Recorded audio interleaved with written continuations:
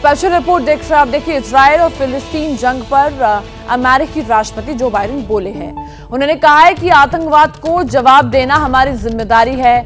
साथ ही उन्होंने कहा है कि मैंने अधिकारियों को निर्देश दिए हैं कि इसराइल को हर संभव मदद मुहैया कराई जाए। अमेरिकी राष्ट्रपति जो बाइडेन ने कहा है कि अमेरिका इसराइल के साथ खड़ा है। Jill and I are praying for those families who've been impacted by this violence. We grieve with those who've lost their loved ones, lost a piece of their soul. We have hope for swift recovery for many who have been wounded. The United States stands with the state of Israel.